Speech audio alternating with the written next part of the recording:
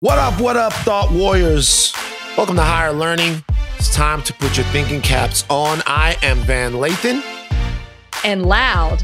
I'm Rachel Lindsay. I gotta turn down my volume with you. You turn down your volume. You, okay, well, look, we'll start there. We'll start with Rachel sort of playing into commonly held stereotypes about African Americans. Wow. So, uh, is that how is that how the whole show's popping off? You just gonna rag not, on me? That's that's the energy we're setting this whole show. I got it. See, I'm see, I'm ready. I just need to and, be ready. And what we're doing now, it's called passing the buck because you started by criticizing me. You you're the one. Oh, you loud. Like you like you know, you want okay, me to first like, of all, for all you watching the video, you will see how he just imitated me when he said, I said, Oh, you loud. First of all, there were no fingers, there was no head movement. mm-hmm. I'm good though. I feel good. I was a, a, little bit under the weather the last time we recorded. Ooh, I'm feeling update, I'm dun, feeling dun, dun. I'm feeling much better. Uh-huh. Great. I'm feeling good. Mm-hmm. I feel refilled. Okay. You know, shout out to you. I gave you a shout out on Twitter for giving me the quote that kind of carried me through to where I am wow. today. Wow. Did you like a, that? I just just, just showing love to my co-host. Such a Trump administration move by you right there. Whoa, the that's two. All right. Like, well, I mean, no, but we, let, us talk about in. it. we talked about yesterday. I sort of derided the quote of "You can't pour from an empty cup." I go on Twitter, and Rachel has posted on her Twitter, "You can't pour for an empty cup from an empty cup." Dash Van Lathan, and I got people hitting me up like, "Yo, Van, yo." yo, dog, that's deep, dog. Exactly what I said. Thank you, Rachel. By the way, I, I appreciate You're welcome. you like, like giving me a little little snipe right there. You're welcome. I actually, after that, did another podcast or something. And I was like, you know, like my co host says, you can't pour out of an empty oh cup. Oh my God. I, I didn't say that. That is not a Van Lathan quote. I did not say the pouring from an empty cup thing. Stop it. I hate that. no, it's so good. How are you, Van? I feel like I never say, how are you doing? Uh, I'm not well. I'm going to be honest with you. Um, I'm not well because of some things that, you know, have happened uh, uh, over the course of this week, the last couple of days, some really incredibly uh, devastating news has become a reality for me and all of my friend group. Um, and we lost somebody, but I don't want to start the podcast off like that. I will talk about that a little bit later on and some some greater things uh, that have to do with the way in which we lost this person and kind of the moment that we're in. Um, but I appreciate the ability to, even say that I'm not well. Like it, yeah. It, it's it's freeing to have the space to be able to be like, yo, you know, for right now, you know, I'm I'm not doing so hot. Yeah. You know what I mean? Well, um, and I um, think to be able to honor that, I, I remember in in therapies one time, someone, not someone, my therapist said, you need to just sit and feel exactly what it is that you're feeling. Because too mm. often we try to brush things under the rug, to try to move it on or mask it with something else to distract ourselves rather than just being present in the moment and actually feeling all of that. So I'm I'm proud that you're able to say that. I'm sorry for your loss. I know you don't want to talk about it right now, but no, I mean, speaking of therapy, I will say this something interesting happened in therapy earlier today. I have therapy every Thursday. Dr. Coley Williams, shout out to my doctor. Um, uh, I have therapy. And normally when you leave therapy, you feel better. But I didn't feel better when I left therapy this morning, and I'll tell you why. So we're so I have been so bothered by what's happened. Like I'm getting up and I'm walking around while I'm doing the therapy. Like yeah. I'm walking, you know, so whatever. And She says stop, and then we do a grounding technique because I get so worked up to where she has to. I have to ground and I have to look. It's a fantastic technique where you're looking around and you're identifying different things that you can see. Green leaves. You're spelling a street sign backwards. You're switching your brain back from a reactive mode into a, a, a sort of feeling hmm. mode. Okay? okay? you're grounding yourself, um, but your your brain gets too reactive and you get all clogged up. So we do all of this, and I'm doing. I'm on the street and I'm spelling words on the sign backwards, which you look completely crazy. Like, oh, there's Main Street, uh, N I A M. You know, it's the whole deal. Um, we leave the. We were getting ready to go, and she goes, "Well, what are you doing Tuesday morning?" And I said, uh, I'm just, you know, hanging out, playing Madden, whatever. She goes, let's go ahead and schedule an additional therapy session for Tuesday morning. And I'm like, what? She's like, yeah, let's go two two days a week next week. I, and I'm like, I'm like, I'm like, well, you need an extra day? Like, I, I need an extra day? Like, what, what, what are you seeing? Don't worry about it. I don't want you to worry about it. You know, just, just, just get an extra day. It's like, it's like, um, when your doctor says, hey, ha, we saw something on your ultrasound. Don't worry about it. Just get here in the next 45 minutes. so I'm like, yo, what's wrong? But uh, I've we're been working. there before. Yeah, it's it's it's scary. We're working through it though. We're working through it, and and you're doing, but you're doing okay. That's the most important thing. You're doing okay. I, I physically feel better. Yes. Thank you. So I think the most interesting thing. I mean, obviously, we're going to talk uh, about the ongoing uh, protest and civil unrest, uh, unrest that exists in America. That is still top of mind conversation. But there is something that is going to uh, supplant that, at least for now, as the lead of our show. Um, and I don't want anyone to take that as in uh, as if we're saying there's anything more important to discuss uh, than what's happening at the moment that we're in right now in America. But um, I saw a fantastic documentary a couple of nights ago. It was Tuesday night on HBO Max, um, which is interesting because HBO Go just turned into HBO Max overnight. I'm like, hey, I got HBO Max. I didn't even know. I didn't sign up for it. Whatever. Um, called On the Record. On the Record, and it details uh, three women specifically and their allegations against Russell Simmons. If you guys don't know who Russell Simmons is, uh, Russell Simmons is the uh, one of the founders of Def Jam Records. I would say that in the mechanism by which we understand it now, in the way that we understand it now, Russell Simmons was the godfather and almost the chief architect of hip hop. Uh, at least the business side of it, not Sure. the music side of it, not necessarily the culture side of it, but in starting Def Jam Records, uh, he laid the foundation for many other record labels that will go on to become um, to make up what we understand hip hop culture to be right now. He Yeah. his importance to the history of rap and hip hop music simply cannot be overstated. Right. Uh, but in this documentary, you have three women that allege that during the 90s and during the 80s, I believe, um, they were raped by Russell Yeah. Simmons. Now you have way more people, way more women uh, that have alleged various degrees of misconduct against Russell. Uh, but in this documentary, three women tell their stories. I know that you saw it. What did you think? So, first of all, thank you for putting this on my radar because I did not know about this documentary. You told me about it. I watched it, and I'm just I don't know if I'm I'm floored, but I I, I guess I've, I'm feeling similar feelings that I felt when I watched the R. Kelly documentary. Mm. Kind of like, how did I not know this was happening? I heard it, but I didn't research it. I didn't really delve into it. We all heard when he when Russell Simmons was being accused because it came out during the Me Too movement when Harvey Weinstein when he Mhm. was being accused as well.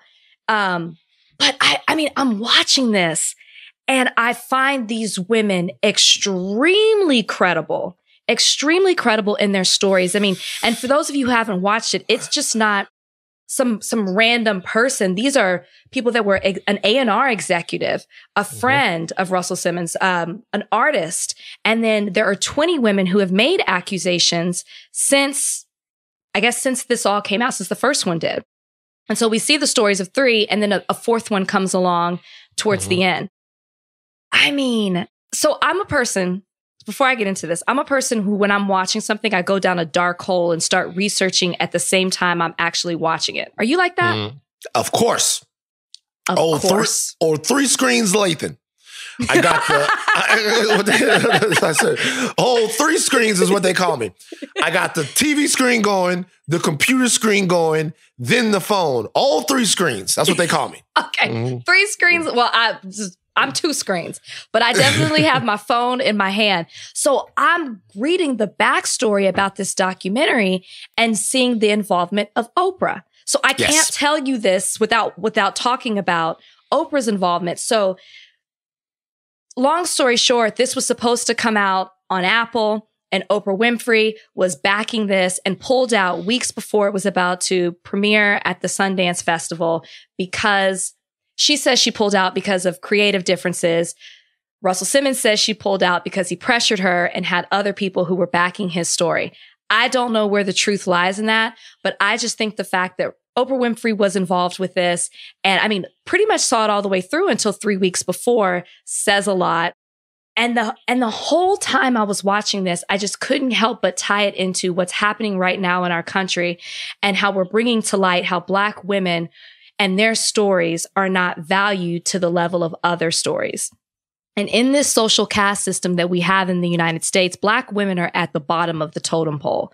And so the fact that these women's stories aren't deemed credible or deemed believable, no charges have been filed against Russell Simmons. L.A. Reid is uh, implicated as well in this documentary.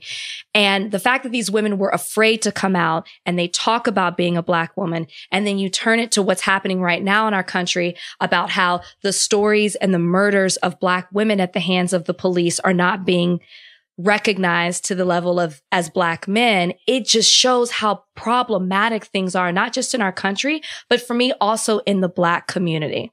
Mm. I feel like I just went on a, ch- a, the wrong tangent, but these are all the thoughts that I had when I was mm-hmm. watching this documentary. Say more about what you feel about your place within the black community is like, to, like as a black talk, woman. As a black woman, sure. What do you mean? I mean, I understand. I know what you mean, but talk a little bit more about that if you don't mind. I mean, I'm not interviewing you. I'm just saying. Oh. oh I feel like I feel like a lot of sisters feel this way. And how specifically do you feel? Do you feel? I mean, as Black women, we don't feel valued in the same way that other members of this society are. Whether you're a white man, a white woman, black man, any other race, I, I have always felt as a black woman that our voices weren't heard, that we are stereotyped to a certain way. It's even referenced in this documentary how there is this sexuality, like we're very sexual in nature. And that's how we're looked at by other men as opposed to who we are as a black woman and what we can bring to the table. And so hearing the stories of these women with Russell Simmons, going back to R. Kelly and the way that he values black women or treated black women. And then what's happening in our country right now with the Breonna Taylors and their stories not being recognized. It's just, it's just a reminder of how hard and how loud we have to scream as black women to be heard and to be seen. Mm. And, Do you feel unseen by black men? Oh, Yes. Okay. Definitely. Talking, I definitely. We're talking like, yeah, I, just, well, like, talk, yeah. I definitely feel see, unseen by black men at times. There, there's a there's a line or there's a conversation that happens between these mm-hmm. women. It's towards the end of this documentary, and as you see these three women sitting in this mm-hmm. in this room talking and sharing about their experience and really just relating to one another, and then one of them says, I believe it was Drew, who talks about that they all look alike. They're all light skinned women mm-hmm. with a certain texture of hair. And Drew says, as black women, she's talking about their voices not being valued. And then she says, I felt like I had to speak up because I'm a light skinned black women, woman. And I know that I at least get a little bit more I'm a little bit more recognized than than for the darker skinned mm-hmm. black women. That's I'm mm-hmm. paraphrasing mm-hmm. what she says, but that's that's basically what she's saying. And so I thought that that was a powerful thing because it also shows how black women are treated within the black community as as mm. well. That I, I remember going to school and being told oh, hearing from certain black men, oh, we only date black women who look like this, or we date outside of our race because we don't want to date a black woman who looks like this. And there are these mm-hmm. stereotypes that exist within our own community that I found interesting that also came up within this documentary as well. Mm-hmm. Let me ask you a question. And I have oh, you to ask do, this you question. do want to interview me today. I'm not asking you, no, no, I'm not. no, I'm asking you. I'm asking you. Do you feel like that and this is this is oh, this is gonna. Where are you going with this? What are you about to wait, say? Wait, wait, wait, seriously. Do you feel like that has anything to do the feelings that you're having about maybe why you didn't marry a black guy? Did you feel unappreciated by black men? I well, oh, no, no, I'll tell you why I asked you know that. What? I asked you that because it's a lot of it's a lot of dudes right now, a lot of brothers that you know they see Rachel Lindsay and they go, "Damn, Rachel Lindsay, smart," and, and, then they see your husband and they go, "Oh shit, look at that!" And when they hear you talking right now, I promise you, you just put a bunch of brothers in their feelings because well, they thinking she's saying all of this, but yet she's not with the black guy. You know what I'm saying? Like This is a what do you- great question that I am so happy to address because okay. And and first of all, I knew this was going to come up. We're in episode five. I'm, I'm actually shocked it took this long, Van. I'm actually shocked you didn't question me before. But here we are. Okay. So the world met me on TV, dating on The Bachelor, where The Bachelor was white. Mhm. Then I go on my season and I end up with a Colombian man who you may not know that by looking at him, but you learn later. Whatever. Just by Right. sight, you can't really tell. Right. So people think that I don't date black men. Mhm. Little do they know prior well, you don't to now. well, prior to ever coming on the show, that's Right. all I dated. And I kind of had to Mm. reason with myself of knowing that when I was going to go on The Bachelor, that the the type of man black man that I date is not going to come on this show. I know that. Take that with, with I'm asking. face. Whoa, whoa, whoa, can't- I whoa, whoa, whoa, whoa, Y'all, wait, what? can I just make an What? announcement? If you if you listen to our podcast, please also watch it on the YouTube channel so you can understand what's happening here because you don't want to miss these facial expressions and these reactions. What what kind of what kind of black man did you date? I I I What we talking about? DMX? Earl no, Simmons? I'm just saying they wouldn't come on The Bachelor. There's just a certain type of I, I you know what? I'll put it this way. okay. When I yeah. was on the when I was on The Bachelorette, Mhm. majority there might have been two men out of the out of all the black men there were two of them who dated black women in Okay. conversation i learned that the black men on my season did not date black women except for two They- of them Right. so that's a certain type of man that's what i'm saying As a black woman, does it bother you when a black man doesn't date black women? no because i i well i well if you say i'm not going to date black women then i have a problem that you don't want to date your own race. If you're Mm-hmm. interested in dating everyone that's great. I wasn't until Mm-hmm. i was in my 30s that i said you know what? I'm going to start really dating outside of my race. And Mhm. i encourage other people like i was so like i'm getting so personal.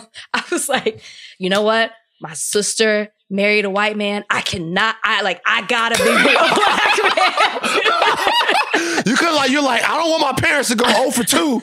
You know what I I mean? know, like legit, that was my thinking. And then I was just like, you know what, Rachel, you just got to open yourself up. I was in a five year relationship with a black man. I thought this was it. It didn't work out. Mhm. After that, I thought, you know what, I'm just going to be open up and date who I connect with. And so that's when I started dating outside of my race. Obviously, it worked out for me. But back to what you were saying. I, I grew up hearing black men say that all the time. That never stopped me from dating a black man. I just thought I don't want to date that black man because that Word. black man isn't interested in me. But it didn't stop me from dating black men in general. And that's the only issue that I have. I can't stand people who say I don't date a specific their own race. I can't Mm. stand that in any race. I feel like if you want to date other races, that's a beautiful thing. That's great. But I can't stand people who condemn their own race. Very, Mm. very against that. That's the type of brother that I don't like. Right. Right. Self hatred. So I, I, I, the reason why I wanted to, to kind of get your full take on the documentary is because seriously, like this is a sticky subject from a lot of different areas, right? I watch the women and I believe them 100%. Uh, yeah. And that, and that, that, that's difficult to say. I'll tell you why it's, it- it's difficult to say yeah. because Why is that difficult? because it's Russell Simmons. And I'm going to be honest with you right now. Like Russell Simmons, look, when you're a young black guy, right? When you're a young black man, you start, the first thing you start, well, for me, the first thing I worshiped was God, right? Like, my- Yeah. like this, Jesus, give me Jesus. They give me who, they give me Jesus. And then right after Jesus came Michael Jackson.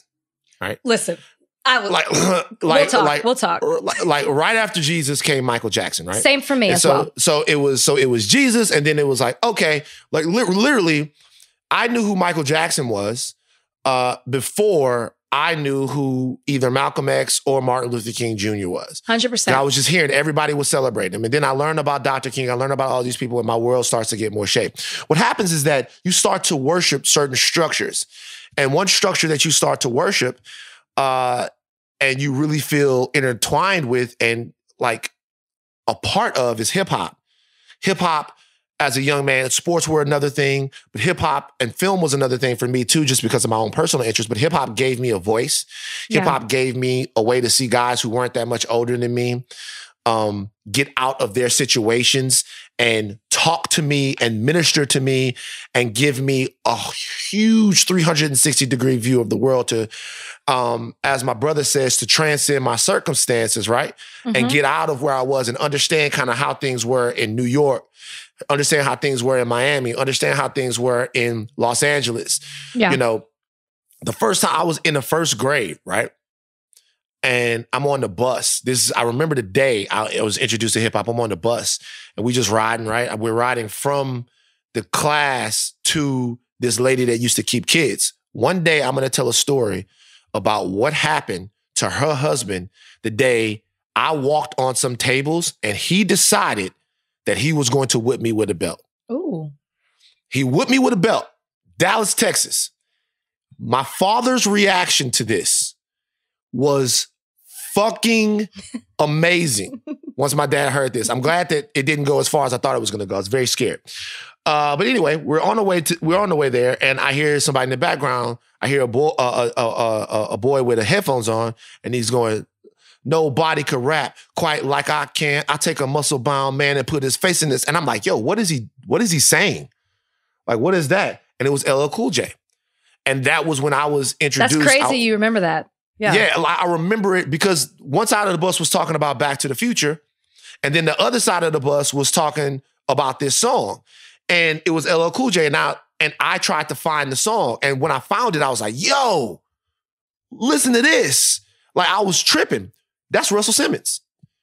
That's Yeah. Def Jam. That's Russell Simmons. Everything that gets built after that, as far as you know, going on to to Run DMC, Walk This Way, the Beastie Boys, Hove comes in. Later on, DMX comes in. This Def Jam is the spot. It was the gold standard.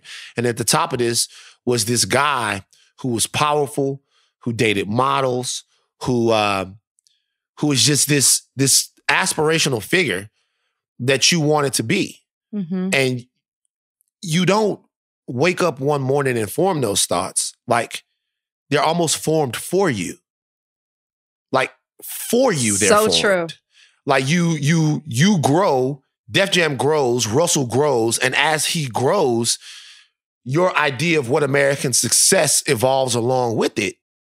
And then years later, after you've gone through all of that and done all of that and been a part of all of that and loved that as much as you have, hmm you learn this. And now your character is being tested. For everyone out there that wants to protect Russell, and for everybody out there that doesn't want to believe what went on in the 90s, I get why they feel that way. But the decision is quite clear. Either you protect your sisters or you don't. And if we make excuses and if we equivocate, I don't know, if we fail to meet the mark in spots like that, like why would they trust us Mm. as as brothers, as counterparts, as companions? Like I can't look at what Drew was saying and what the other ladies are saying and say that I don't believe them Yeah. because the stories seem real. Now, look, Russell Simmons hasn't been convicted of anything, and he deserves his chance to tell his side of the story. And we should say, for the purposes of this podcast, that he vehemently denies any claim of sexual assault or rape. He does. Yeah. it's all alleged. Alleged. That's what we have All to say. alleged. Yes. He he admits that he was um, a womanizer. He admits that he was A playboy. a playboy, garish, and that he might have put women in some situations that were uncomfortable. But not to get too graphic for you guys, Drew Dixon says that she went to a stereo to, um, and he also says something that like there are situations to where he feels like things could have been misunderstood. Drew Dixon he says, yeah, he says that sometimes you know things can be misunderstood. He can under he can understand how things signals got crossed. Yeah. And everything that they said in the documentary about the culture of that era is 100% true. hmm It was different and it was much more uh, sort of dangerous for women and things Yeah. were much more cavalier. Um, But what she says happened was that she was over at the stereo fiddling around for a CD, and she turned around. Russell Simmons was naked with a condom on, Yes. and that he pushed her on a bed and raped her. There's no Mhm. way that situation could be misunderstood. Either Right. it happened or it didn't. And there was another woman who had a very similar story about him standing naked with a condom on. And there was another woman who said that uh, she was uh, a member of a, a, a group, a DJ group up in New York called the Mercedes Ladies. That even in the '80s, that Russell Simmons held her down and raped her. Uh, I believe them, and that doesn't mean um, obviously you know Russell Simmons did an interview on the Breakfast Club. I have no problem with the Breakfast Club giving him the interview. I do. Uh, talk, let's talk about it. You have a No, problem with them I giving mean, them the interview? I do have a problem with him giving the interview. I mean, it's because it went into the documentary. It went into the accusations that are out there against him. And I just feel like if I was if I was there, I would not have been a part of it because I don't want to make it seem like I'm complicit with the behavior that that I believe is true, right? I believe these women and what they're saying. So if I have this man on my show, then I feel like I am being complicit to that. I don't want anybody to be a part of what I'm doing. I don't want to be affiliated. I don't want to be aiding and abetting Mhm. that who this person is and what they stand for, at least for what I believe. Because again, yes, this is all, these are accusations. He has not been, uh, uh, he had, there are no criminal charges against him as of yet. He has not been convicted of anything. But if I truly believe that what these women are saying are true, I want no parts of this man. So I'm against them giving him a platform to change the narrative, to speak about something else in a positive way when over your head is hanging these the are hanging these allegations that you mistreat women, sexually assault women. Okay. And that's a fair point. And there were a lot of people on Twitter uh, that that made that point. The reason why I don't have a problem with the interview is R. Kelly was interviewed by Gayle King. Prince Andrew got an interview on 2020. Um, if any of these networks right now had an opportunity to interview Harvey Weinstein from jail, they would take the interview. If even even the documentary itself, Rachel, reached out to Russell Simmons to get his side of it. But think of the context of what they were going to talk to him about. They were going to talk to him specifically about this, not to give Mm-hmm. him the opportunity to defend himself or to promote something else. You know, Well, that's- R- that's well- why R. Kelly got upset. That's why Well, it's an iconic interview right now. R. R. Kelly, R. Kelly actually did exactly what he went there to do. He went there to Yeah. freak. You know what I mean? He R. Kelly, he yeah, he wanted to freak out, and so he went there to freak out and make a big show about how innocent he was. I don't have a problem with anyone who's accused of anything having their opportunity to speak on their own behalf. It's just the way things work. There's the interview came, just so people know, the Breakfast Club interview, it came from Bali. Uh, so he's in Bali right now, and there are many people who feel that Russell Simmons is in Bali because it's a non-extradition country. Now he had been going back and back and forth to Bali for years now, but he has been in Bali since all of this coronavirus stuff happens. He says that he can't get back here, but he's also been in Bali since he knew that this this uh this documentary was going to drop. So Mhm. you don't know which one that it really is. Um, for me, I don't have a problem with them giving him the interview. I don't have a problem with anyone talking to someone that's been accused of anything. Because if that's the case, then if you're going to make a decision about who it is that you believe, you kind of have to have uh, all of the information or as much of the information as you can. What I will have a what I do have a problem with is certain parts of what was being said. Like they, I mean, and it has nothing to do specifically with what they, you know, Russell Simmons says in the interview, he says, uh, um, well, I've taken a lie detector tests and uh, I've passed nine lie detector tests. Well, my question is administered by whom? Well, those don't even hold up in court. They don't So, hold number yeah, one, so- they number one, they don't hold up. And number two, if you're taking a lie detector test court ordered from an independent person uh, as part of a deposition for something else, then that's completely different than going out and hiring somebody on your own dime. If you if it's a part of a criminal or civil proceeding, taking a lie detector test in that entr- in that entrance is completely different than than than than taking a lie detector test from some dude that you go hire so that he reaffirms that you didn't do anything. But why nine times? Why nine? Why you gotta do it nine times? Isn't one enough? Maybe two. Nine times, really, Russell? Come on now. I like I I, but but my question is, and I because I actually agree with what you're saying. It was my understanding that he was on the Breakfast Club to promote something, and then the conversation turned to that, and that's well, what I was had no an way. issue. Right, oh, go ahead. I'm sorry. No, but that's what I had an issue with because he came on under the guise of promoting something. Yes, the conversation went there, but I wouldn't have even given you the opportunity to promote that. I would have said, "We'll do an interview with you if you want to sit down and talk about this documentary." Yes, Mm. but not to promote anything to make you look better.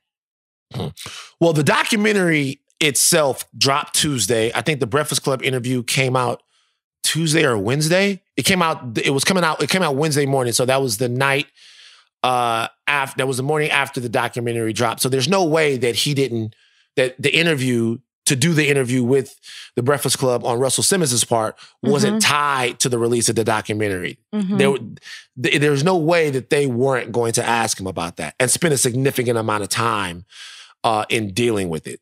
So that was going to happen. Um, he did say in the interview that he feels like his voice has been muted and he wants his voice back. Stuff like that is the kind of shit that gets on my fucking nerves Mhm. because Russell Simmons' voice is not the voice that we should be discussing. Exactly. the voices that we should be discussing and we will discuss and any of those women who want to talk have an open forum here i don't think the breakfast club has told them they haven't gone they couldn't go on there either um, but they have an open forum here to come talk to us Absolutely. i don't know what detail that they uh that they didn't go into on the documentary but if there's anything else that wants to be discussed they're, Well, they're, they're I'll give two things that they could Sure. come on and talk about. One is this interview because they were actively tweeting, at least I know Drew was tweeting about what she felt about it. And the Mhm. second thing is when Oprah Winfrey pulled away from doing this documentary and how that felt. I know that Drew has spoken out about it, but I would love to talk to them about how they felt probably neglected, abandoned, um, not valued in that sense, and and really trying to understand why three weeks before the release of it, when pretty much everything is done, that you pull out. I would love to have that conversation with them. Well, there's some talk. I mean, there was it was stated that that Oprah said she pulled out because of inconsistencies in the story of Drew Dixon in particular. It Three was weeks that was before. right three weeks before. Uh, Let me tell you what I think happened there Okay. with as much love and respect for Oprah and Gayle as it is possible. Here is the thing about Why you put Gayle in there? because Gayle is a part of what I'm about to say. Okay. Um, so and Oprah and Gayle get lumped in together, and I'll be honest with you, I do have some issues with Oprah and Gayle. I have some issues with alone. Oprah. I I have some issues with Oprah and Gayle with the way that they've treated hip hop in the past. I have some issues with Oprah and Gayle in um uh, Gayle in particular, which we've all we talked about with uh, the way she handled the Lisa Leslie interview after Kobe Bryant had passed away Mhm. and you know just whether or not there's enough nuance to the conversation about black men's place in the continuing discussion of sexual assault and violence in this country okay um, i don't think it's fair that black men become the face right. of sexual assault and sexual violence in america i don't think that that's fair there is a line between me not thinking that's fair and also what i'm willing to do to protect black women from some of Mhm. our brothers who are not getting it Mhm. and as a man, you can't be half a man. Yeah. You can't be a man when it serves your purposes and interests and be not a man when it's something that is hard for you to do and stand up of. That's no man at all. And that's Yeah. not the stock that I come from. Um, but I think that when that on the heels of the Michael Jackson documentary and after the Kobe Bryant interview, the backlash from that, if you're asking me, was probably a large part of why Oprah decided that she didn't want to be a part of On the Record.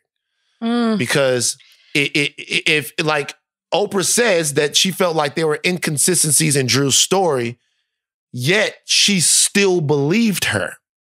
So She had she- to say that. As a I- person who's spoken out about her own experiences with something similar, she had to say that. But you, but actions speak also louder than words. And three weeks before it's about to come out, that film is done. And the Mhm. fact that both she and Russell Simmons have admitted that there was pressure put on her, it just isn't a good look. And Mm. that that I know she gave an explanation as to why she did it, but to me it's so unsettling when you were involved so much into it. This didn't happen over they didn't ask you to come on at the last minute. You were involved in this. And then you Mhm. pull out at the last minute. I just think it speaks volumes. Yeah. And I think it's problematic. the documentary that everyone should check it out. It goes into great detail into something else that's pretty uncomfortable is that, you know, the weaponization of sexual assault claims it's a sticky subject for black men because it's one of the things that has been used to lynch, destroy, kill, Yes. uh, um, and just take rob from black men since we've been here in America. It's been, oh, this big black buck raped a white woman. We can talk about Emmett Till. We can talk about so many different situations to where yeah. a black man was accused of a sexual crime that he didn't do, lost his life from it, lost his career from it, you know, lost whatever. And so as we move on, even when they talked about Mike Tyson and Desiree Washington and all those things, I remember the way my father and people around me reacted to those stories. And they reacted to those stories because they were triggering for them. Because, you know, in those stories, what you had was a, a belief that this was the way you took down a powerful black man. Even in the case of OJ Simpson, a belief that his marrying a white woman from Brentwood and that was that's the way you get to a black man. You send Mhm. Delilah in and you take him out because that's the one thing that that you get rid of. So Well, well, no, I was just going to add to your point. Clarence Thomas, who they also show, they show the Mhm. hearings of Clarence Thomas when he was being considered to be on the Supreme Court, and they show Anita Hill testifying. He says in there that this is what happens to a black man when they get there. He references that. I'm just want to add that to your Mhm. point, and it's also Yeah, in the very- documentary. Yeah, so uh, you know, I'm saying, and when you're so when you see Russell or when you see t- even Bill Cosby uh, or any of these other people, you don't want to believe it at first. You want to believe that it's this, it's the same, it's the same old hat, the same old trick. You don't want to believe it. Um, but the reality is that I'm not saying, or I don't think there's anyone that's saying, or that all black men are guilty of sexual assault, or that No. the majority of black men are guilty of sexual assault, or that there's even a prevalent, uh, uh, uh, uh, not even a, pre- a prevalence of sexual assault uh, that we are somehow more prone to it. But I am saying that that black man, Yeah, I believe, is guilty of sexual assault. And if that too. means I don't get love at Def Jam, then I don't I don't get love at Def Well, Jam. you see. At the end of the documentary, they kind of give you an update. And although there were no criminal charges, L.A. Reid stepped down in 2017 as the chairman and CEO at Sony Music. They say oh. don't Oh. meet your heroes. You never, you never should meet the people that you admire. But I mean, these days it's feel, feeling like you don't even want to know anything about them. I don't want to know anything.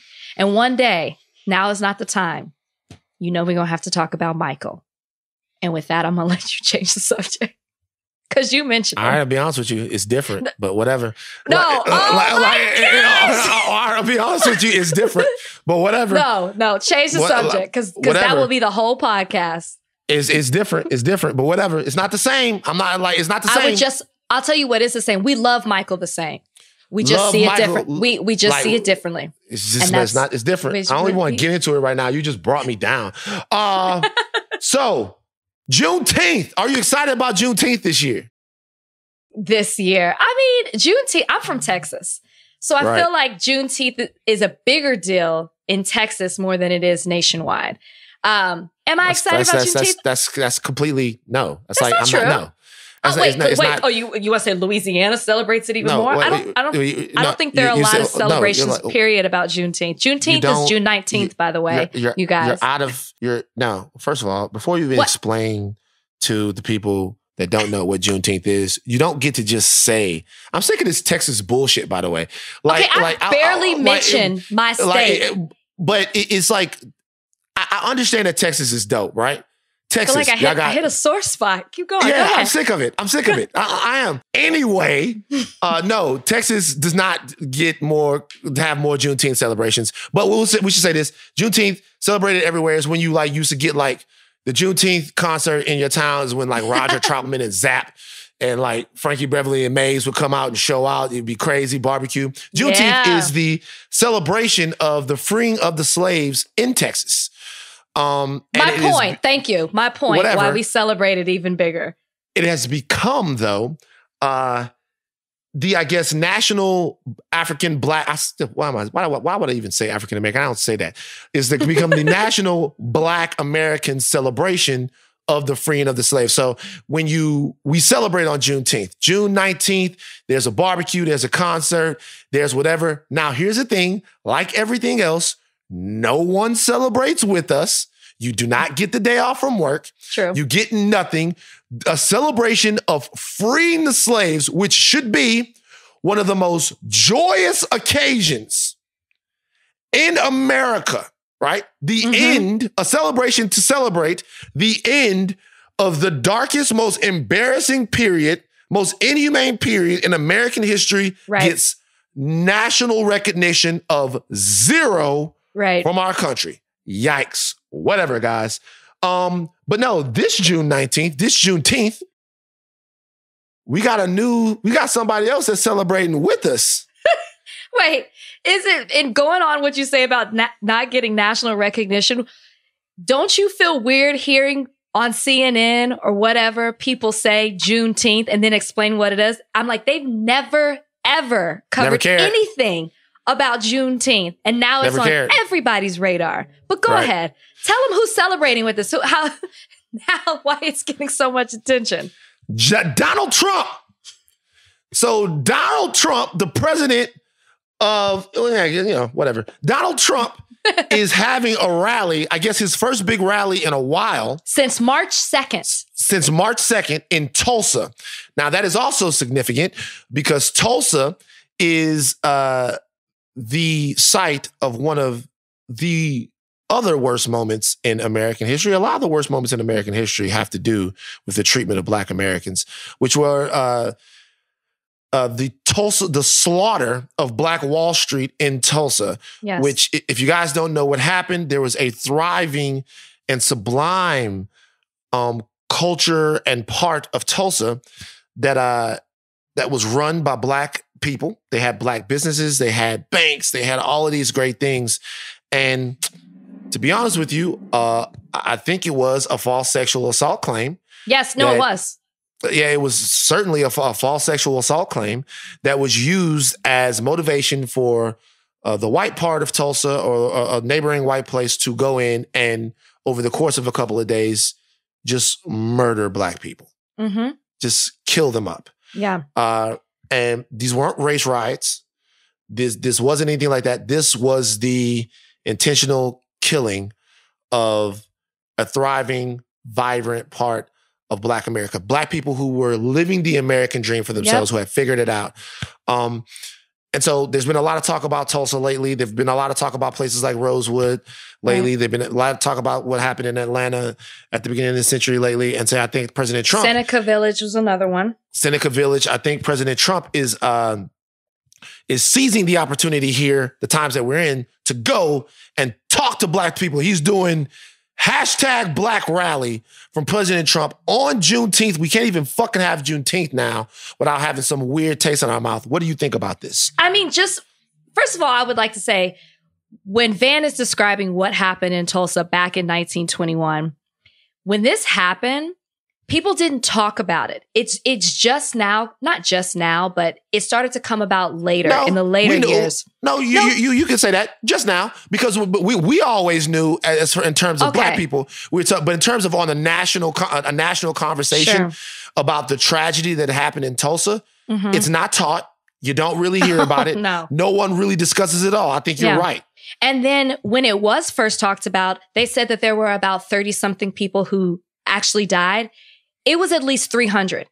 Right. And all the businesses were burned. So I just want you, it's a, it was a racial massacre. That's how you need to look at it. This is how I feel about it. Just imagine, just close your eyes for a second and think Donald Trump is standing in Tulsa. The backdrop has Confederate flags and Make America Great and Trump flags flying in the air. You're, it's on the day where we celebrate the emancipation of slaves.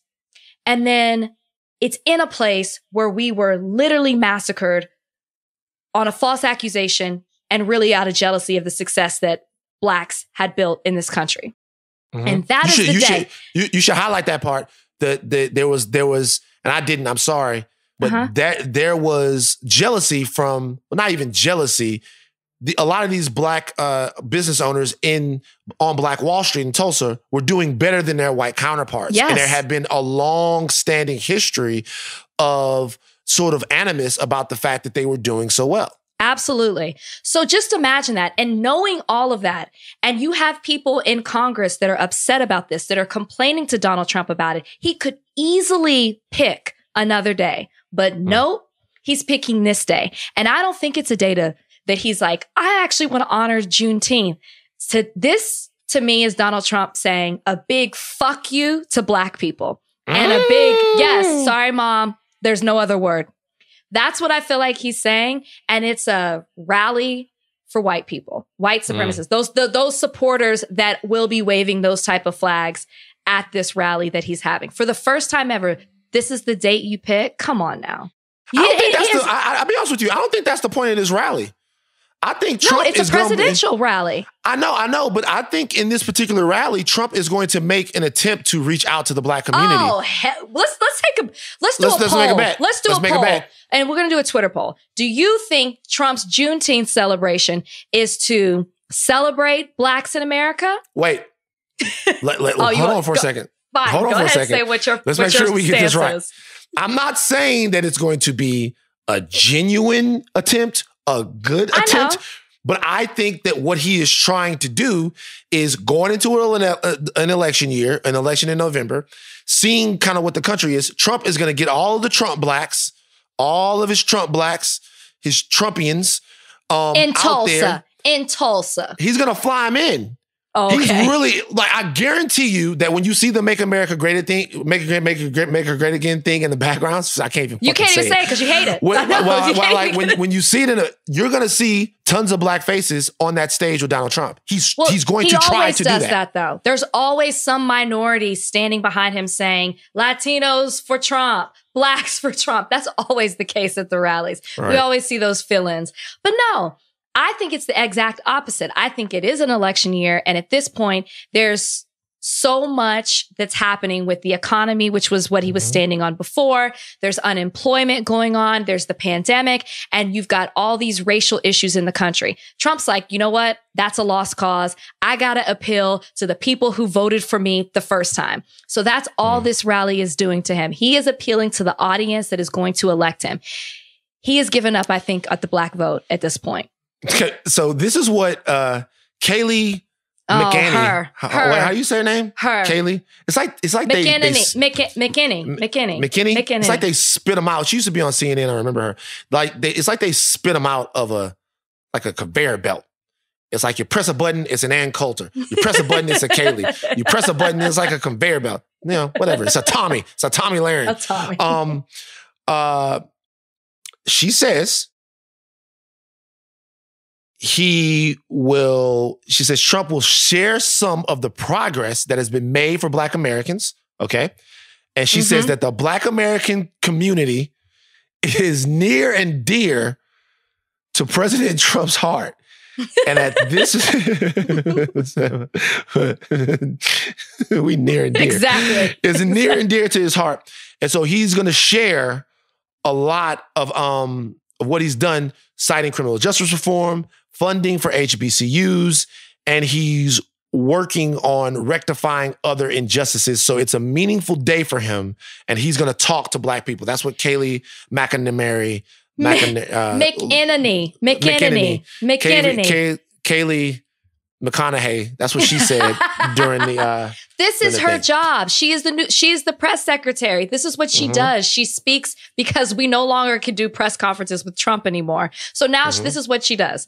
She speaks on his behalf. She's speaking because he's being criticized for having it on this day. Now, black people are going to be out celebrating on Juneteenth. They're not going to be at this rally listening to what Trump has to say about what really digging deep to try to figure out what he's done for the black community when there's a laundry list of things he's done against the black community that he showed his hand about how he truly feels about blacks. You can go all the way back to the 70s with that.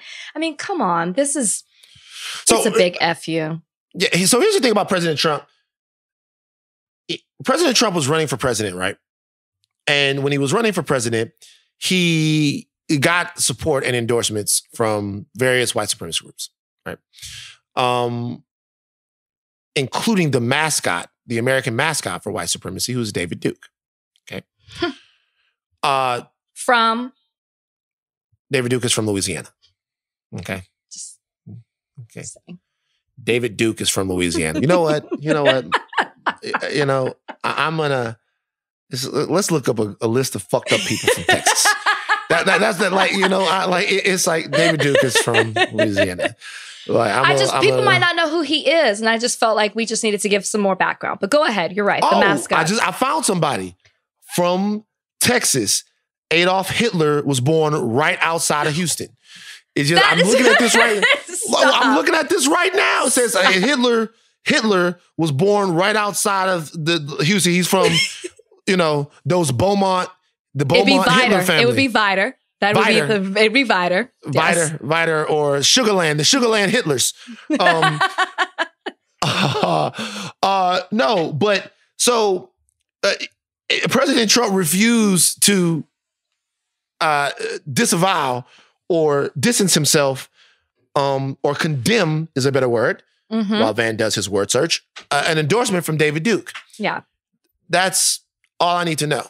The right. white supremacists, the white supremacists, both in action and in thought, that are surrounding President Trump will be empowered as long as he's in office. He refuses exactly. to depower them. And white supremacy, when we're talking about that, we're not talking about something that results even in the lynching that has happened to black people before. We're ta- not talking about the terrorist acts that have happened uh, to black Americans, like hap- what happened uh, with the Black Wall Street massacre. We're talking about an entire system of white supremacy. Mm-hmm. In a system of white supremacy, the oftentimes the horrific crimes are the least dangerous part. And that seems weird to say because the crimes are a lot of times so egregious that they get sympathy and they get people's emotions worked up. So when you see a black man get dragged until his head falls off, when you hear stories about uh, uh, people being hung and having their balls cut off and all of those things like that, those are things that most rational Americans would look at and think that's horrible for that mm-hmm. to happen to a human being. The other parts about white supremacy that get empowered by guys like Trump are the parts that you can't see that are actually working every second or every day to maintain an American status quo where Black Americans can't access their part of the American dream. Mm-hmm. And those are mm-hmm. things like federal judges that the president would appoint. Mm-hmm. Those are things uh, like about oversight. Um, those are things about funds that would get to Black people in Black neighborhoods all over the place, to sort of political people or politicians, should I say, that President Trump has to empower in order to do what he is. The Trump uh, administration has empowered the worst group of federal judges exactly. in terms of civil rights in a generation, maybe ever. So that's the work being done against the black community that it's impossible to see, but the type of work that can only be done if there is someone who values the support of white supremacists in the White House who values their supports. Now, I'm not saying that there haven't been other presidents who valued that. I'm not right. saying that at all. Right. I'm sure that there's large bases of people that come even from, I, I joke about Louisiana, that come even from my home state that value that support as well because it's yeah. a stable base. But this president has been, to me, very, very, very public, overt, um, and forthcoming about the types of people that he likes to surround himself with. And that threatens the fabric of America. So then that's why you have to look at the fact that he is, of all days, starting his campaign rallies on Juneteenth. It is a big FU to Black people, especially with what's going on in this country right now. And there is no acknowledgement by the president to mend it, to fix it, to recognize it. When you're honoring a police force by saying 99% of them are good and there's no systemic racism, when you refuse to rename of U.S. Army facilities that are named after Confederate leaders, when you want to keep statutes up, when you when you honor the Confederate flag, all of that is a big fu to Black people. And mm-hmm. so I feel like the fact that he's doing this on this day goes into that. Trump has a long history of saying mm-hmm. racist, you know, xenophobic, what whatever things that are against sure. the Black community, and the only things he stands on are that I love black people. I, you know, I, I like black people. That's what he'll mm-hmm. say, or he'll talk about the job increase with with black people since he's been the president. That's he's going to talk about the, and at the That's rally. It. He's gonna he's gonna talk about two hundred fifty million dollars that he didn't give to HBCUs. He did he stopped it from not expiring. He's also probably going to talk about the First Step Act, and the First Step Act was, um, and we'll give America credit for at least getting this right. The First Step Act was uh, bipartisan criminal justice reform mm-hmm. um, that passed under the Trump administration. So he's certainly, and there are going to be people there that are going to be able to say that they got out of jail um, yeah. during the Trump administration, Alice Johnson and people like that. Uh, so he's probably going to say that. But what I'm saying is, he doesn't have a real case, but he's going to make the case he's going to try to and make the case enough. to black Americans. The people who will write me about when I say something about the president on my social media always bring up those two things. It's two things. That's all mm-hmm. that they say. They forget everything else that he's done. And I think that he's showing his hand in what we have going on right now in our country and the fact that there is no there's no effort to fix it or to mm-hmm. even recognize and acknowledge it shows me all that I need to. So I I mean, are you going to be tuning in? On Juneteenth I, I don't, to the I don't rally? watch that. I don't watch that shit. And no, and most, about? and and neither will most Black Americans, right? Except for maybe the eight percent that voted for him. This is what Kayleigh said. The eight percent that voted for him last uh, time. What what's your what's your feelings on the uh on the Confederate flag? You know. Talk about Wait, it. Can you re-ask the question? What's my feelings on the Confederate flag? I mean, I hate like, it. Yeah, yeah. I mean, I hate it. You know, we well, I, we, we, we have had this. Go ahead. Better better question. What's your feeling mm-hmm. on large portions of the country's inability to see why you hate the Confederate flag? Well, okay. We we've been joking all podcast about this, but we're both from the South. You're from yes. Louisiana, I'm from Texas. Mm-hmm. So it is not abnormal to see the Confederate flag on the back of a car. I remember the school I went to, there were kids who either had it on their cars, maybe had a picture of it in their in their locker. And it always is a very daunting presence for me. It like I can feel myself tighten up and become a bit fearful whenever I see a person that is using that as a symbol. And that's because of what it represents to Black people. And we all know that what it was representing in the 19th century and with secession and the Union and the defense of slavery and the rejection of patriotism and nationalism. We all get that. But what I think people don't realize is then there was the Confederate flag. It was still around, but it was kind of, you didn't really see it arise anywhere. And the reason it came back is because they were using it to condemn the civil rights movement. Whites who were against it brought the Confederate flag back as a symbol to reject what was happening in the country for American, African Americans. There I am like you, blacks fighting for their equality in this country. They used the Confederate flag as a symbol to oppose that. That is why when I see it, I immediately affiliate racist with it. I affiliate racism with it. I don't pay attention to NASCAR because I know where this conversation is going. I don't, I've never been to a race. We've got Texas Motor Speedway, which is not far away from where I grew up. Never wanted to affiliate it with it. It's not for us. Similar to the way we think about the Bachelor franchise, NASCAR is not for us. We know that. When I saw, since NASCAR's been a topic right now in the news, the picture, the video of the Confederate flags flying in the air, you know, whether it was their tailgate or infield or wherever they Yeah. have it. It was the scariest feeling to me. I did not know that that's what it was like. And I can't believe Bubba Wallace was driving in this type of environment. It's not welcoming. It scares me. And it's a symbol of racism. It is not a symbol of Southern pride at all. If you know what the flag stands for, I feel like you almost have to have a history lesson on that, similar to why you tell people, non black people, they can't say the N word. You need Hmm. to understand the deep rooted history of what that flag represents and why it's waved in the air and pulled out. And who are the type Right. of people that wave it? Right. So there's no passive way to to to to wave the Confederate flag. I mean, um, and we should say something about the Confederate flag and people who are um, who romanticized the Confederacy in general.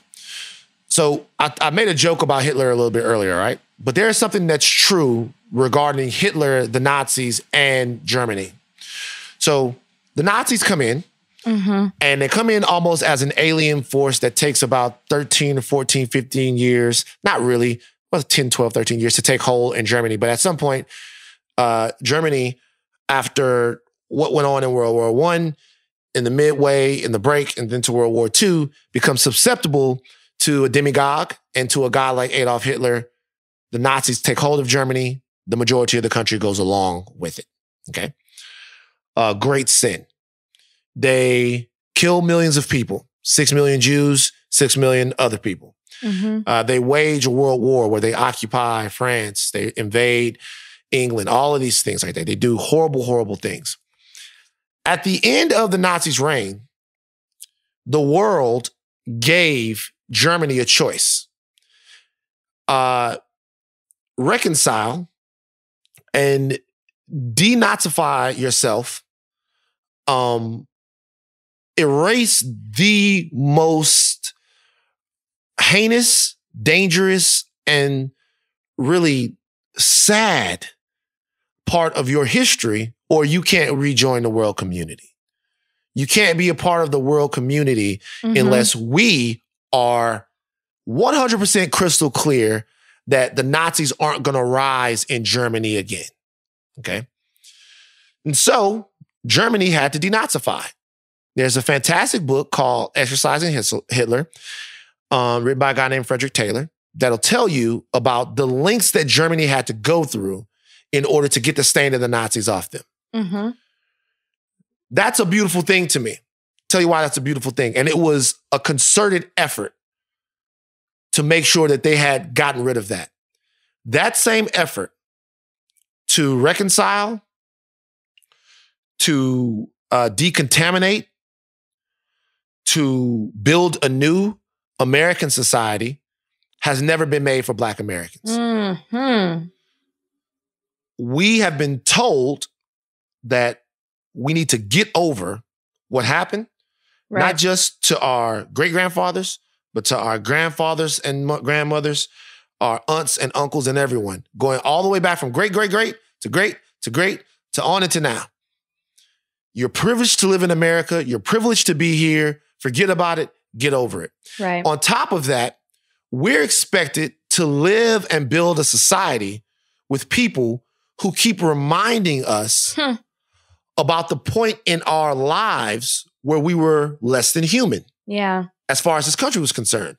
So in Louisiana, there is no statue of PBS Pinchback, who was the first black governor of Louisiana, only served for a little while, but ended up nearly becoming a senator, fought with uh um is a group down in New Orleans uh called the Native Unit that was made up, uh he fought in the Union Army. There's no there are no statues of him, right? Right. None statues of him, but there's statues of Beauregard, and there's statues of Jackson, and there's statues of Lee, and there's statues of all of these people who not only were they racist, but they were losers. So here in America, I'm to be told that black winners mean less than white losers. right. Black people who fought on the side of just and good, which is what the Union Army, at least as far as history is concerned, represented, because it represented Right. the end of slavery, don't matter as much as guys who tried with all of their will and all of their might to continue slavery, to continue a system of degradation for black people, and um, to treat us like shit. So when people say that the Confederate flag is Southern pride, you don't get to make that decision. You don't get to make the, you don't get to redefine something that has a very clear definition. Well, oh, sorry. I'm sorry. I'm sorry. I'm sorry. That's it. Look I mean, me. that's it. And so it's, it, that's it. And so to, to be honest with you, it's, it's not just a, a stupid argument, but in and of itself, it's an offensive one. Mm-hmm. Just say what the fuck you want to say to me because your shirt or your bumper sticker or your flag or your fucking statue is already saying it. Right. Just talk to me like you want to talk to me. Say what the fuck you want to say, and we can get it out the mud some other way. Yeah, and don't hide behind the flag and act like it's a Southern pride thing. Because my thing is, is I never understood that when they would say that because there are a million other things that you could pick to have Southern pride to represent that, other than the Confederate flag. The Confederate flag represents treason. It doesn't mm-hmm. represent anything about being a patriot of this country or nationalism or anything like that. It truly represents treason in addition to the defense of slavery and something negative to black people.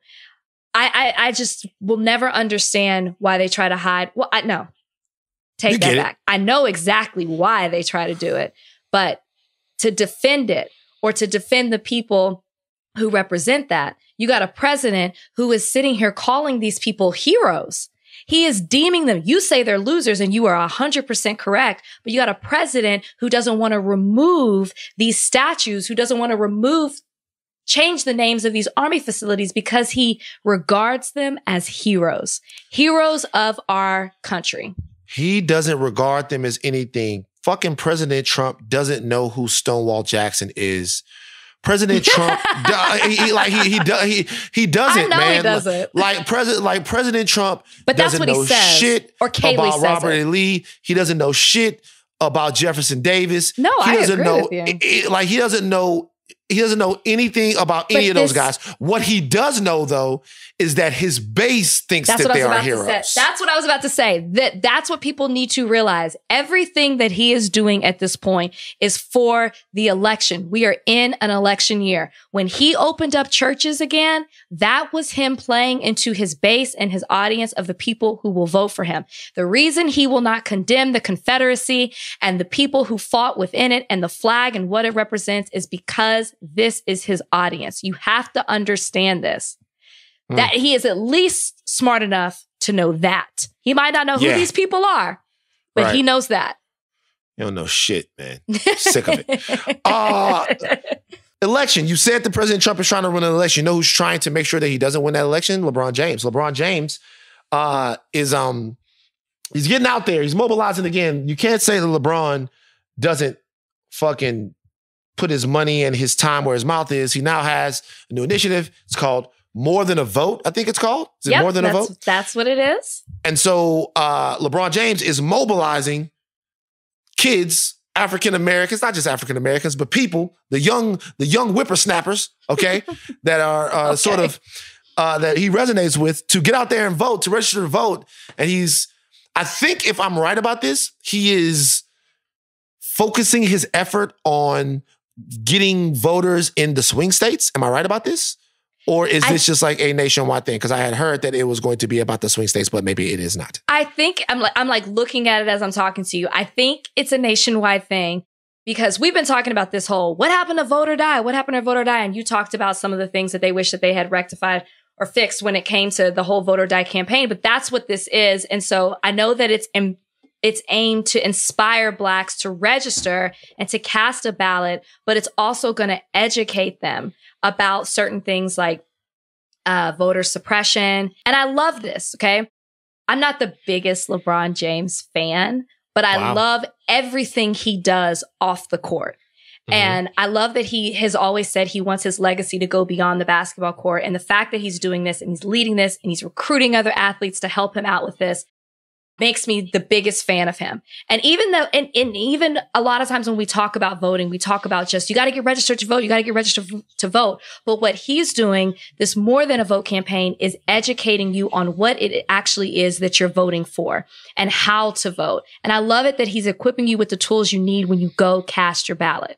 It's almost mm. like a tutorial. That's the, that's what I'm gathering Mm-hmm. with this, which is bigger than vote or die. So you don't vote necessarily by party. You know exactly what it is you're voting for. And I think it's important to be educated because when you face somebody who votes against you, you can tell them exactly why you're voting, you know, for this person or against it because you're going to be equipped with that knowledge. Mm. I love this. I'm all about this. It's a beautiful thing. Thank you, LeBron James, for this. Yeah, I love it, especially in the in the context that it exists in. Number one, when you think about it, Hillary lost 2016 by about 80,000 votes. Mm-hmm. That was the difference, right? So three states, you look at Wisconsin, I think Michigan, and then Pennsylvania.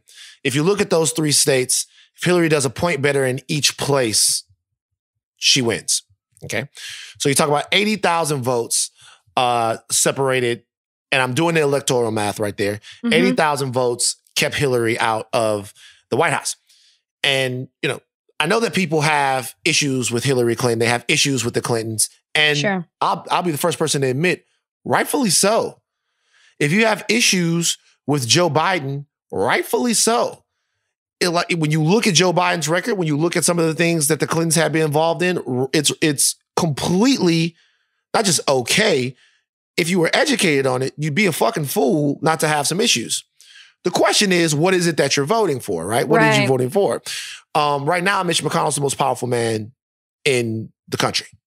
Mitch McConnell says what goes. Mitch McConnell wields a lot of uh, of power in terms of being able to move the the engine of politics in our world right now. Mm-hmm. So when you're voting, you're not just voting for the president. You're going to vote down ballot, and also you're essentially voting for Ruth Bader Ginsburg you're essentially voting for for uh, Supreme Court uh, nominations and the future of Roe versus Wade. Yes, you're you essentially you're essentially voting for so many things like that. And if Joe Biden doesn't do it for you, or if Hillary Clinton doesn't do it for you, maybe having the rights over your body might do it for you.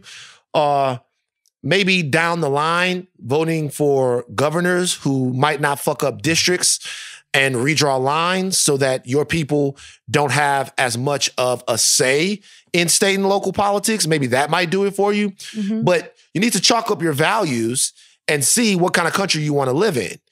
And sometimes that means that you get a less than ideal candidate in the number one slot. And I'm going to be honest with you if I looked up less than ideal candidate in the fucking dictionary, there would be a fucking gigantic picture of Joe Biden. I'm waiting for Joe Biden. Like I wouldn't be surprised if on uh Juneteenth, Joe Biden did like a like a a a, a, a cross sort of counter rally to Donald Trump and went, listen, you guys know me. I was in there with Barack Obama. He was great. He loved me. Okay. And he was just about the best color guy I ever met. no. Like I'm no. waiting for some. I'm waiting for some shit like that to happen. We I already really heard it. You ain't black. Like, but- right. I'm waiting. so so I'm saying is obviously not the perfect candidate, but there are so many more things on the ballot when I say on the ballot, there's so many more things that you vote for. Exactly. Other than the man, his blood and his DNA. There's, there's, there's more stuff. There's a whole apparatus that you're voting. But that's why I love this initiative that LeBron is doing because I, I don't know all what it's going to entail. I mean, this has just been announced, but I am hoping that it lets you know those things. When you vote for the president, you're not just voting who gets the title and who's going to be living in the White House. It is about who is appointing federal judges, on the district, the appellate, the Supreme Court level, all that matters. Like you said, these cases that have been pretty much navigate, like how we navigate the judicial system for so long are on the verge of being overturned. You know, mm-hmm. it's even on a like you said, with the governors on a local level, it's just so important to know what exactly it is you're voting for. And I think that's why people feel like their vote doesn't matter and their vote doesn't count because they don't understand exactly what it means when you cast that ballot, how much Hmm. power you have in that. And for nothing else, and I always say this, and it still baffles my mind that I used to say this to black people. People died so we could vote. If nothing Mm-hmm. else, exercise the right that people fought, not people, your people fought Mhm. so hard for. I just don't understand You know why you, you know wouldn't. You know what's crazy? that. You know what's, I, I actually don't like it when people say that. You know why? Why? I, I like Because I said like, it. no, that's not why, Big Rach. I don't like it. Why? It's because like people died so that black people could do everything. like, Well, okay, well like people, fine. wait, wait, wait, wait, wait, wait. It's like, it's like saying, it's like, I get it, I get the sentiment, but it's like that would be like me not going to get lunch at Denny's, and then someone going, No, man, it's not that. you need to go get lunch at trivial. Denny's. You need to go get lunch at Denny's because No. people died so you could get lunch at Denny's. They but died you know, so you could but sit do- in a but you know- restaurant. but dude, that's true. But, People they, but it died doesn't have so to that I be could go to Denny's. But Denny's. you, but you People exercise died that so that I every could ride. People died so that I could ride the bus. But you people exercise people, that. It's nothing that you. There's nothing that you could do as a black person that people didn't die so that you could do it. It's But like you have like, a choice now. You have. Very you, true. uh, You know what I'm saying? I get what you're saying. There was no choice. You could. You, now you can decide. You know what? I don't want to go sit Look. in an integrated restaurant. That that, that wasn't given to I you. wanna, I wanna go. I mean, to be honest with you, Denny's might not be the safest place to go. I mean, Denny's just has its issues, but I like going and sit down there. So I'm happy that people got their So asses just- busted just so I could go eat lunch. What a fuck, God, God damn. Look, I'll say this. Okay. You said that your vote doesn't matter. And I'm gonna be honest with you. I'm gonna level with you guys. Some of y'all, your vote doesn't matter. I'm gonna be, I'm gonna be, I'm gonna be real with you. Like, I'm, gonna, like, I'm, gonna, I'm gonna keep it all the way gangster. Like if you live here in LA, I, I got bad news for you. Your vote doesn't really matter. In terms of president, doesn't matter. I want you to go out and vote, and the reason why is because I want people to get. I want to see a more active, engaged American electorate. But just just to let you know, I don't mean to like fuck with the drama. This he doesn't going mean that, you guys. He doesn't His mean state's that. going blue. But what I'm telling you, this is what I'll tell you. I'll tell you, if you live in Wisconsin, Pennsylvania, um, if you live in Wisconsin, Pennsylvania, Michigan, Florida, Oh, I know. I'm, I'm changing my Like- license just like, for oh, this. Ohio, even maybe Virginia, there are a lot of states in there. I'm saying you don't just matter, you fucking really matter. Like, we need you young kids. You got all the fucking time in the world to play Fortnite or like go and hang out with Lil Uzi Vert or whomever. Okay, You sound You like got- the oldest person in the room I am. right look, now. look, I'm just. I'm telling you guys. I'm telling you guys. Everybody that protested, I swear to you, if you mobilize in November Yes. the same way that you protested, at least we can begin to have a functional conversation about changing some of the systems in America. Now, let me tell you this. This is not me saying that the Democrats are your friends. I am not saying that. You have no friends. Okay. Okay. Like you, you, you- you don't. But what I'm saying is, if we're going to leverage our culture to get to make a better America for not just Black Americans, but for the entire country, for other Mhm. parts of this country that have been overlooked and put to the background. And like when I say working people, I mean working people are losing with income inequality. Working people are fucking losing when uh, Yeah. with, with COVID. Working people, working people are being left behind in America, and we have to change that. And the political apparatus is going to be a part of that uh, prescription to change it. That's all. Mhm. That's it. I'm not about to. I'm not saying, I hey. I'm a, I'm a registered independent. I'm a liberal. I'm liberal as fuck, but I don't believe that. I knew you, know. were going independent. Oh, what do you mean you knew I was going independent? How well, did you I know mean, was you're like? Democrats aren't our friends, Republicans aren't our friends. I get it. Independent. Like, Yeah, I, yeah, there's nothing wrong with it. Yeah. Father's an independent. It seems like it seems like there's a little judginess in your voice. Not at all. Right. Okay. Not at all. Right. I am one of those people who is, you know, I'm from Texas. I am literally changing my license right now to Florida so I can vote in Florida because I know this state needs my vote. Texas might be in play. I'm gonna do Florida. I get you. Texas, I'm just letting you know. Tex- Texas, no, I Texas know. might be in play. The Texas is it's like Texas. We'll, Well, we're the, gonna have the major cities in Texas are all like everything and surround. No, not surrounding, but Texas is yeah, it's on the verge because of the bigger cities for sure. By the way, here on the Higher Learning Podcast, we're gonna have all the experts you need to hear on all of this stuff, like checking in right here. We're gonna give you all the information that you need in terms of uh, you know, balancing how we beat voter suppression is gonna be very, very important. Mm. One thing that the LeBron thing is doing is if the more people you can get out, there's gonna be widespread voter suppression come November. The more people you get out, the more you can fight some of the voter suppression uh, that exists in this country. We're going to see it everywhere. We just saw it in Georgia, people Yeah. standing and waiting six or seven hours to try to vote. That is trying to get people not to vote. Exactly. They're scared of your vote. They're scared of your power. Exactly. And that was just the primaries. So people are like. I ain't coming back for November if this is how it's going to be. No, 100% right. Yes. Mm. I love that. We will have people out here. Okay. Are we going to talk protesting? We're going Sure, to touch on a little bit. Yeah, no, talk- talk I mean, I. I don't. I feel like there's not a whole lot to say other than you guys protesting. If you had asked me before if we would still be protesting here weeks after the murder of George Floyd, I wouldn't have believed it. But I love to see it, and I want to know. I want everyone to know that your protesting is having effects on what's happening in this country. It's a whole. There's a whole movement behind it. I mean, TV shows are getting canceled, movies are getting ripped from Mhm. uh, streaming services. People are getting fired from their jobs. I mean, it's if you are not on the right side of this, you're out. And that is Mhm. because you guys are out in these streets, marching, protesting, using your voices, fighting for what you believe is right. So all I have to say is keep it going. Yeah. Keep doing it. the world will change as much as you as you pressure it to. I will say this: don't just protest though. Like, go into a bank with kente cloth on and ask for a home loan. Like, I'm serious. Like, don't don't I just got, leave I it. got you on the latter part. Like, don't don't don't just leave it at the protesting. Right, man. Put some pressure on Bank of America. Oh, Bank of America, you down with Black Lives Matter? Guess what? I want to open a soul food joint. What kind of collateral do you have? I have 400 years of collateral.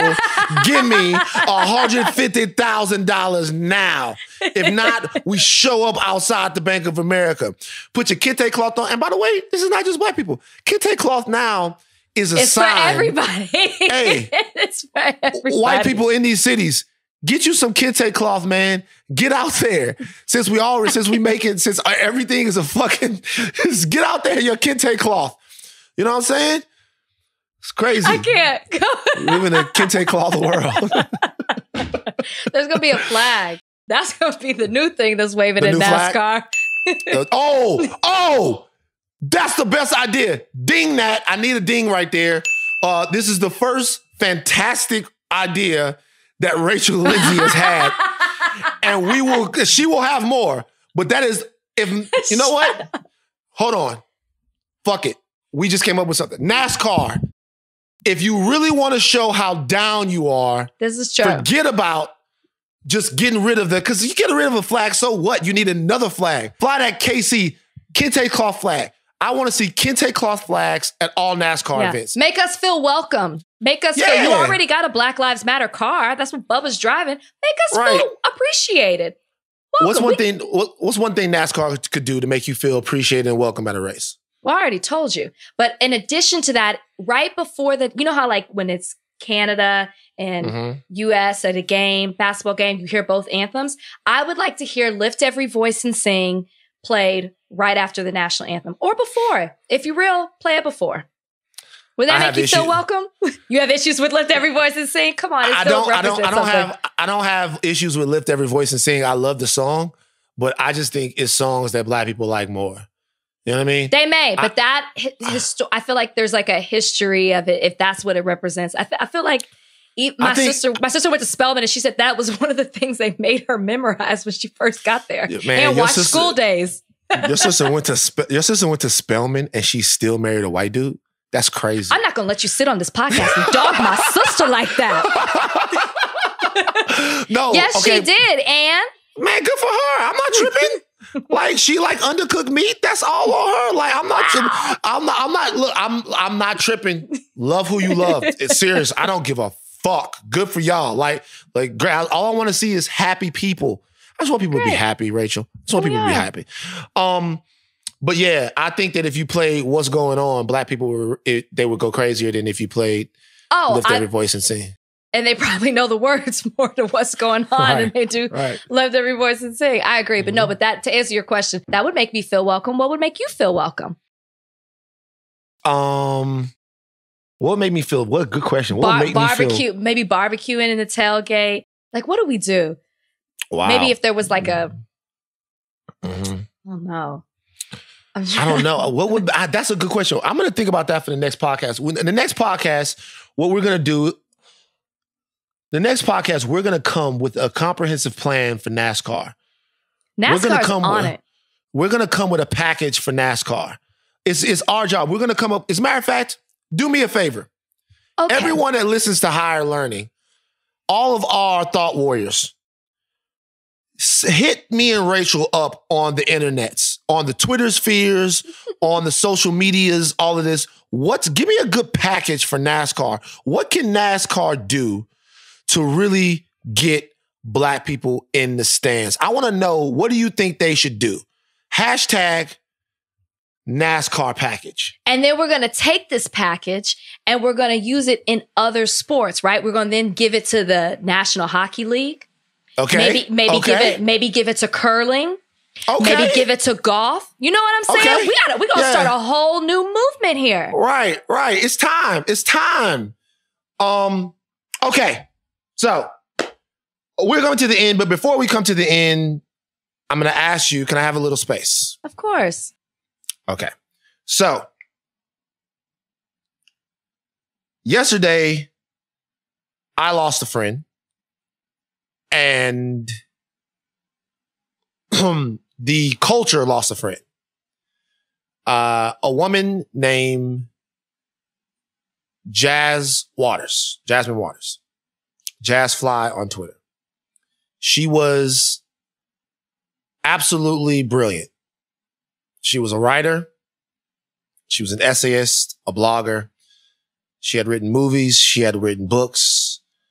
Uh, but more than anything, she was a light, a fantastic individual, um, a fierce ally of anyone who needed a voice, uh, an activist, all of those things. She was amazing.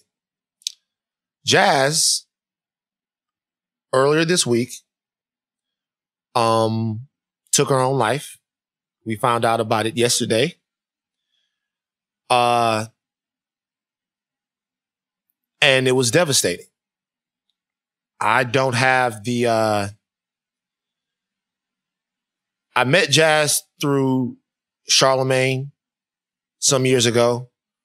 And one of the greatest sort of testaments to the impact that she had on everyone was when I was talking to people yesterday about her passing.